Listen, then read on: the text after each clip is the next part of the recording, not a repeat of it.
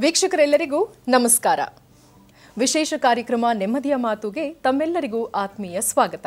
ನೆಮ್ಮದಿಯ ಮಾತು ವಿಶೇಷ ಕಾರ್ಯಕ್ರಮದಲ್ಲಿ ಇಂದು ಕೂಡ ನಮ್ಮೊಂದಿಗೆ the man who is sought after by millions across the globe ಅಂತ ಹೇಳಿದ್ರು. ಅತಿಶಯೋಕ್ತಿ ಆಗೋದಿಲ್ಲ. The very very talented and a man of multi personality so ಸಾಕಷ್ಟು ವಿಧಾನವಾದಂತಹ who is donning many hats ಅಂತ ಹೇಳ್ತೀವಿ.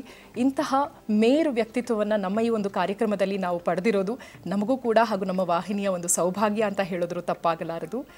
ಮೋಟಿವೇಶ್ನಲ್ ಸ್ಪೀಕರ್ ಆಗಿ ಸಕ್ಸಸ್ ಕೋಚ್ ಆಗಿ business mentor ಆಗಿ ನಮ್ಮೆಲ್ಲರನ್ನ ಅಂದರೆ ಅಕ್ರಾಸ್ ದ ಗ್ಲೋಬ್ ಕೋಟ್ಯಾಂತರ ಮಂದಿ ಫಾಲೋಯರ್ಸ್ನ ಅಭಿಮಾನಿಗಳನ್ನು ಪಡ್ಕೊಂಡಿರುವಂತಹ the most sought of the person doctor Bharat Chandra ಅವರಿದ್ದಾರೆ. ಬನ್ನಿ ಕಾರ್ಯಕ್ರಮಕ್ಕೆ ಆತ್ಮೀಯವಾಗಿ ಸ್ವಾಗತವನ್ನ ನೀಡೋಣ. ನಮಸ್ತೆ ನಮಸ್ಕಾರ ಜೀವನದಲ್ಲಿ ಏನಕ್ಕಾದರೂ ನಾವು ಸಕ್ಸಸ್ನ ಆಸ್ವಾದಿಸಬೇಕಂದ್ರೆ ನಿರ್ದಿಷ್ಟವಾದಂಥ ಒಂದು ಗುರಿ ಇರಬೇಕು. ಗುರಿಯ ಹಿಂದೆ ಈಕ್ವಲಿ ಇಂಪಾರ್ಟೆಂಟ್ ಆದಂಥ ಒಂದು ಪರ್ಪಸ್ ಇರಬೇಕು ಅಂತ ಹೇಳ್ತಾರೆ. The goal that lacks purpose is no of no use ಅಂತ ಹೇಳ್ತಾರೆ. ಈಗ ಗೋಲ್ ಸೆಟ್ಟಿಂಗ್ ಅನ್ನೋದು ಎಷ್ಟು ಮುಖ್ಯ ಆಗುತ್ತೆ? ಇದು ಯಾವ ಯಾವ ವಯೋಮಾನದಲ್ಲಿ ಹೇಗೆ ಇಂಪಾರ್ಟೆಂಟ್ ಆಗುತ್ತೆ? ರಿಟೈರ್ಮೆಂಟ್ ಪ್ಲಾನ್ಸ್ಗಿರ್ಬೋದು ಅಥವಾ ಮಧ್ಯ ವಯಸ್ಸಿನವ್ರು ಇರ್ಬೋದು, ಅಥವಾ ಇಳಿ ವಯಸ್ಸಿನವ್ರು ಇರಬಹುದು, ಮಕ್ಕಳಿರಬಹುದು ಬಾಲ್ಯದಲ್ಲಿ ಕ್ರೀಡಾಸಕ್ತರಿರಬಹುದು ಪ್ರತಿ ವಯೋಮಾನದಲ್ಲಿ ಗೋಲ್ ಸೆಟ್ಟಿಂಗ್ನ ಪ್ರಾಮಿನೆನ್ಸ್ ಏನು? ಹಾಗೂ ಅದಕ್ಕೆ ನಾವು ಹೇಗೆ ಮೈಂಡ್ ಸೆಟ್ನ ಪ್ರಿಪೇರ್ ಮಾಡ್ಕೋಬೇಕು? ಬಹಳ ಜನ ನಮ್ಮ ದೇಶದಲ್ಲಿ ಗೋಲ್ ಸೆಟ್ಟಿಂಗಿನ ಬಗೆಗೆ ಏನೂ ಮಾಹಿತಿಯನ್ನು ತಿಳ್ಕೊಂಡಿಲ್ಲ. ಒಂದು ಗಾದೆ ಮಾತಿದೆ if you don't stand for something you will fall for anything okay. ನಾನು ಜೀವನದಲ್ಲಿ ಹೀಗಾಗಬೇಕಿತ್ತು ಅಂತ ಒಂದು ಬ್ಲೂ ಪ್ರಿಂಟ್ ಇಲ್ಲ ಅಂತಂದರೆ ಹೇಗೋ ಆಗಿದ್ದನ್ನು ಹೀಗೆ ಆಗಬೇಕಿತ್ತು ಅಂತ ಊಹಿಸ್ಕೊಂಡು ಸಂತೋಷವಾಗಿರ್ತೇವೆ. That is how we convince our self our self ಹಾಂ. ಪ್ರಪಂಚದಲ್ಲಿ ಕೋಟ್ಯಾಂತರ ಜಿರಳೆಗಳು ಬಂದವು. ವಾಪಸ್ ಹೋದವು. ಆದರೆ ಒಬ್ಬ ನಾಯಕ ಜಿರಳೆ ಅಂತ ಇವತ್ತಿನವರೆಗೆ ಎಲ್ಲೂ ಪಾಠ ಇಲ್ಲ. ಮನುಷ್ಯನು ಅದೇ ರೀತಿ ಬರ್ತಾನೆ, ಹೋಗ್ತಾನೆ. ಆದರೆ ನಾವು ಪಾಠದಲ್ಲಿ ನೋಡಿದ್ದು Mahatma Gandhi, Martin Luther King ಅಥವಾ ಇಂಥ ಸ್ವಾಮಿ ವಿವೇಕಾನಂದ ಇಂಥವರು ವಿರಳ. ಪ್ರಪಂಚದಲ್ಲಿ ಹಿಸ್ಟ್ರಿಯನ್ನು ಕ್ರಿಯೇಟ್ ಮಾಡುವವರು ಕೇವಲ ಒಂದು ಪರ್ಸೆಂಟು. ತೊಂಬತ್ತೊಂಬತ್ತು ಪರ್ಸೆಂಟ್ ಕೇವಲ ಚರಿತ್ರೆಯನ್ನು ಓದುವವರು. ಬಹಳ ಬಹಳ ಇಂಪಾರ್ಟೆಂಟು. ನಾವು ಇವತ್ತಿನಿಂದ ಏನಾಗಬೇಕು ಅನ್ನುವುದನ್ನು ಬಹಳ ಸಮರ್ಪಕವಾಗಿ ಒಂದು ಜಾಗದಲ್ಲಿ ಬರೆದು ಆಮೇಲೆ ಅದರಂತೆ ಆಗುವುದು ಬಹಳ ಪ್ರಪಂಚಕ್ಕೂ ಒಳ್ಳೆಯದು, ನಮಗೂ ಒಳ್ಳೆಯದು. ತೊಂಬತ್ತೇಳು ಪರ್ಸೆಂಟು ಜನ ಪ್ರಪಂಚದಲ್ಲಿ ಅವರ ಜೀವನದ ಗುರಿಗಳನ್ನು ತಲುಪುವುದಿಲ್ಲ. ಕಾರಣ ಏನು ಅಂತಂದರೆ ಜನ ಗೋಲುಗಳನ್ನು ಬರೆದಿಟ್ಕೊಳ್ಳೋದಿಲ್ಲ. ಕೇವಲ ಮನಸ್ಸಿನಲ್ಲಿ ಇದು ನನ್ನ ಗೋಲು ಅಂತಾರೆ, ನಾಳೆ ಮನಸ್ಸಿನಲ್ಲಿ ಇನ್ನೊಂದು ಗೋಲು ಬಂದು ಅದ್ರ ಮೇಲೆ ಕೂತ್ಕೊಳ್ಳುತ್ತೆ. ಅದಾದಮೇಲೆ ಒಂದು ತಿಂಗಳ ಮೇಲೆ ನಾನು ಇದೇ ಹೇಳಿದ್ದು ಅಂತ ಊಹಿಸ್ಕೊಂಡು ಅದಕ್ಕೆ ಹೋಗ್ತಾರೆ. Any goal which is not return is not a goal ಗೋಲುಗಳನ್ನು ಬರೆಯುವುದು ಬಹಳ ಇಂಪಾರ್ಟೆಂಟ್ ಸಾಮಾನ್ಯವಾಗಿ ನಮ್ಮ ಕಾರ್ಯಾಗಾರದಲ್ಲಿ ನಾವು ಗೋಲ್ ಸೆಟ್ಟಿಂಗ್ ಅನ್ಬೇಕಾದ್ರೆ ಜನ ಹೇಳ್ತಾರೆ ಗೋಲುಗಳು ನನಗೆ ಗೊತ್ತು. ಆದರೆ ನಮ್ಮ ಕಾರ್ಯಾಗಾರದಲ್ಲಿ ಗೋಲ್ ಸೆಟ್ಟಿಂಗ್ ಅನ್ನುವಂಥದ್ದು ಅಂದಾಜು ಎರಡು ಗಂಟೆಗಳ ಕಾರ್ಯಕ್ರಮ. ಎರಡು ಗಂಟೆಗಳ ಕಾಲ ಏನು ಮಾಡ್ಬೋದು ಅಂತ ಊಹಿಸ್ಲಿಕ್ಕೂ ಸಾಧ್ಯ ಇಲ್ಲ.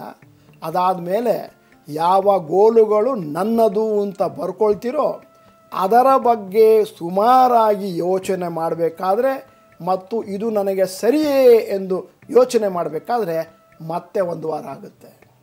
ಪ್ರಾಬ್ಲಮ್ ಏನು ಅಂತಂದರೆ, ಜನ ನನಗೆ ಗೋಲು ಗೊತ್ತಿದೆ ಅಂತ ಹೇಳಿದ್ದೆಲ್ಲ ಫೈನಾನ್ಷಿಯಲ್ ಗೋಲ್ಸು ಅಂತಂದರೆ, ಜೀವನದಲ್ಲಿ ಒಂದು ಕೋಟಿಯನ್ನು ಸಂಪಾದಿಸುವುದು, ಎರಡು ಮನೆಗಳನ್ನು ಕಟ್ಟುವುದು, ಅಲ್ಲದೆ ನಮ್ಮ ಗೋಲುಗಳಿಗೆ ಬೇರೆ ಆಯಾಮಗಳು ಇದ್ದಾವೆ.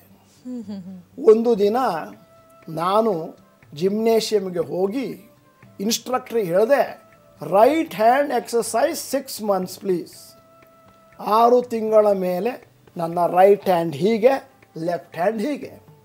ಜನ ಹೇಳಿದ್ರು ಫಿಸಿಕಲಿ ಡಿಫಾರ್ಮ್ಡ್ ಪರ್ಸನ್ ಅಂದರೆ ಇದೇ ತಪ್ಪನ್ನು ನಮ್ಮ ಜೀವನದಲ್ಲಿ ಮಾಡ್ತಾ ಇದ್ದೇವೆ. ನಾವು ಫೈನಾನ್ಷಿಯಲ್ ಗೋಲನ್ನು ತಲುಪಿದ್ದೇವೆ. ರಿಲೇಷನ್ಶಿಪ್ ಗೋಲು ಅದರಿಂದಾಗಿ ತೊಂದರೆಗೆ ಒಳಪಟ್ಟಿದೆ. ನಾನು ಬಹಳ ಜನರನ್ನು ನೋಡಿದ್ದೇನೆ. ಮನೆಯಲ್ಲಿ ಹತ್ತು ಕಾರು, ಹದಿನೈದು ಮನೆ, ಬ್ಯಾಂಕಿನಲ್ಲಿ ಮೂವತ್ತು ಕೋಟಿ, ಆದರೆ ಮನೆಯಲ್ಲಿ ಹೆಂಡತಿ ಮಕ್ಕಳಿಲ್ಲ.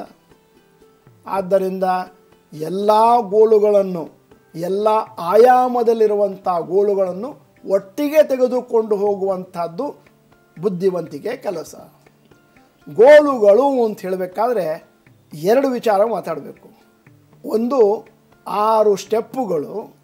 ಇನ್ನೊಂದು ಆರು ಡೈಮೆನ್ಷನ್ಗಳು ನೀವು ಆರು ಸ್ಟೆಪ್ಪು ಅಂತ ಕೇಳಬೇಕಾದ್ರೆ ನಾನು ಹೇಳೋದು P P P T F M principle P P P T F M P P P T F M principle P ಅಂತಂದರೆ ಯಾವುದೇ ಗೋಲನ್ನು ಬರೆದ್ರು ಅದು ಪರ್ಸ್ನಲ್ ಆಗಿರಬೇಕು. ಯಾಕಂತಂದರೆ ಬಹಳ ಜನ ಅವರ ನೇಬರ್ಸಿಗೆ ಗೋಲನ್ನು ಫಿಟ್ ಮಾಡ್ತಾರೆ.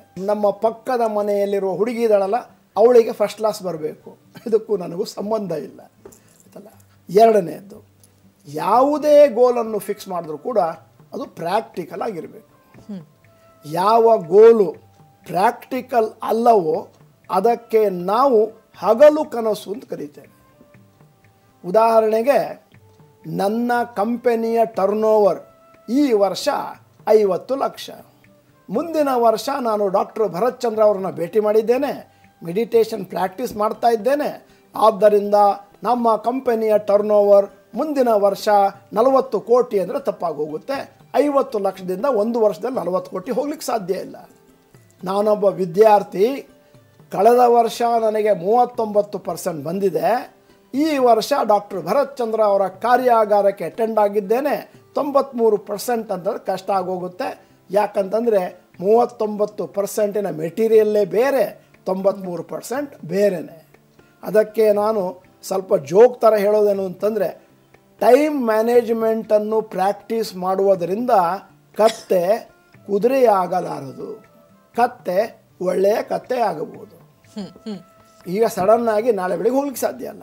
ಸೊ ಮೊದಲನೇದು ಪರ್ಸ್ನಲ್ ಆಯಿತು ಎರಡನೇದು ಪ್ರಾಕ್ಟಿಕಲ್ ಆಯಿತು ಮೂರನೇದು ಪಾಸಿಟಿವ್ ಹಾಂ. ಇದು ಬಹಳ ಇಂಪಾರ್ಟೆಂಟ್ ಉದಾಹರಣೆಗೆ ಬಹಳ ಜನ ಯೋಚನೆ ಮಾಡೋದೇನು ಅಂತಂದರೆ ನಮ್ಮ ಕಾಂಪಿಟೀಟರ್ ಇದಾರಲ್ಲ ಅವರ ಕಂಪನಿಯ ಟರ್ನ್ ಓವರ್ ಮೂರು ಕೋಟಿ ಇದೆ. ಈ ವರ್ಷ ಹೇಗಾದರೂ ಮಾಡಿ ಅವರ ಕಂಪನಿಯ ಟರ್ನ್ ಓವರನ್ನು ಐವತ್ತು ಲಕ್ಷ ಮಾಡ್ತೇನೆ. ಇದು ನೆಗೆಟಿವ್ ಗೋಲ್ ಆಯಿತು. ಪಿ ಪಿ ಪಿ ಟಿ ಅಂತಂದರೆ ಟೈಮ್ ಬೌಂಡ್ ಓಕೆ. ನಾನು ಬಹಳ ವರ್ಷಗಳಿಂದ ನೋಡ್ತಾ ಇದ್ದೇನೆ ಈ ಗೋಲುಗಳನ್ನು ನಮ್ಮ ಮುಂದೆ ಸೆಟ್ ಮಾಡಬೇಕಾದ್ರೆ ಕಾರ್ಯಾಗಾರದಲ್ಲಿ ನೋಡ್ತೇವೆ. ಜನಗಳು ಏನು ಬರೀತಾರೆ ಅಂತಂದರೆ ನಾನು ನನ್ನ ಕಂಪೆನಿಯ ಟರ್ನ್ ಓವರನ್ನು ಮೂರು ಕೋಟಿ ಮಾಡುತ್ತೇನೆ. ಯಾವಾಗ? ಎರಡು ಸಾವಿರದ ಇಪ್ಪತ್ತೊಂಬತ್ತನೇ ಇಸ್ವಿಗ. ನೀವೇನಿದ್ದರೂ ಕೂಡ ಅಲ್ಲಿ ಬರೀಬೇಕು. ನನ್ನ ಕಂಪೆನಿಯ ಟರ್ನ್ ಓವರನ್ನು ಮೂರು ಕೋಟಿ ಮಾಡುತ್ತೇನೆ. ಎರಡು ಸಾವಿರದ ಇಪ್ಪತ್ತ ಮೂರನೇ ಇಸವಿ ಮಾರ್ಚಿನ ಒಳಗೆ. ಅಂತ ಬರೀಲಿಲ್ಲ ಅಂದರೆ ಟೈಮ್ ಫ್ರೇಮ್ ಇಲ್ಲ ಅಂತಂದರೆ ಗೋಲ್ ಅಲ್ಲ. ಉದಾಹರಣೆಗೆ ಸಾಂಕೇತಿಕವಾಗಿ ನೀವು ಫುಟ್ಬಾಲ್ ಆಡ್ತಾ ಇದ್ದೀರಿ. ಫುಟ್ಬಾಲ್ನಲ್ಲಿ ತೊಂಬತ್ತು ನಿಮಿಷದ ವಿಸಿಲ್ ಇದೆ. ಭಾಳ ಜನ ಫುಟ್ಬಾಲ್ ಆಡ್ತಾನೇ ಇದ್ದಾರೆ ಇನ್ನೂ. ತೊಂಬತ್ತು ನಿಮಿಷ ಮುಗಿದೋಯ್ತು ಅಂಪೈರ್ ಮನೆಗೆ ಹೋಗಿ ಆಯಿತು. ಆದ್ದರಿಂದ ತೊಂಬತ್ತು ನಿಮಿಷದೊಳಗೆ ಗೋಲ್ ಹಾಕಬೇಕು ನೀವು. ಪಿ ಪಿ ಪಿ ಟಿ ಆಯಿತು ಎಫ್ ಅಂದರೆ ಫ್ಲೆಕ್ಸಿಬಲ್ ಗೋಲ್ಸ್ ಇಲ್ಲಿ ಫ್ಲೆಕ್ಸಿಬಿಲಿಟಿ ಅನ್ನುವಂಥದ್ದಕ್ಕೆ ಸ್ವಲ್ಪ ಜಾಸ್ತಿ ಮೀನಿಂಗ್ ಕೊಡ್ತಾ ಇದ್ದೇನೆ.